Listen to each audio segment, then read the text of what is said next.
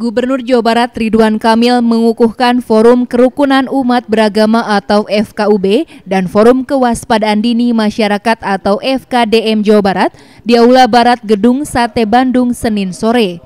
Gubernur meminta agar FKUB lebih proaktif dalam mengatasi masalah tafsir, terutama tentang rumah ibadah. Selain itu, dirinya meminta keberadaan kampung toleransi dan kampung welas asih diviralkan. Emil pun menegaskan FKUB harus berkontribusi menjadikan Jawa Barat provinsi toleran.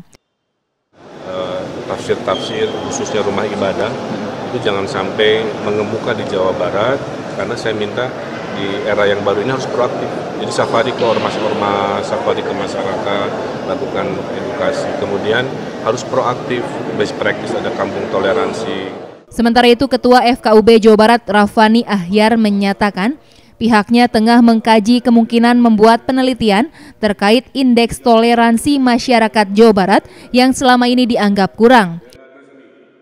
Eh, untuk merespon hasil survei Balitbang Kemenang itu, jadi kita akan adakan uji uh, keabsahan gitu ya, uji uh, absah hasil survei itu kan hasil survei itu kan uh, apa namanya membuat kita kurang nyaman lah gitu ya Sementara itu untuk FKDM, Emil meminta agar mereka memastikan dan menjaga kondusivitas Jawa Barat.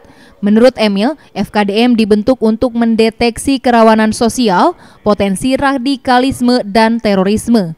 Pihaknya pun menegaskan FKDM harus canggih digital karena sumber keresahan berawal dari dunia digital.